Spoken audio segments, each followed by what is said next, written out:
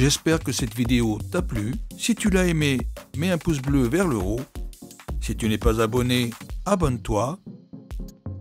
Et si tu veux être prévenu pour toutes les vidéos, clique sur la cloche.